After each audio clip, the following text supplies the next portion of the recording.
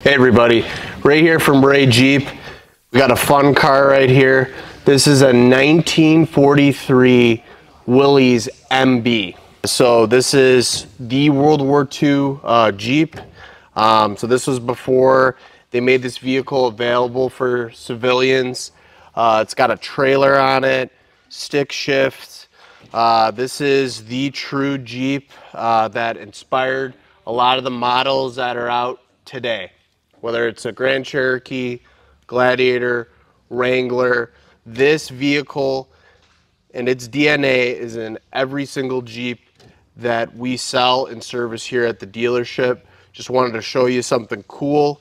Uh, it's going to be around the dealership so you can check it out. It's a fun little museum piece, so to speak. Uh, feel free to hop in it, uh, take some pictures with it. It's a fun vehicle. We'll see you in Fox Lake.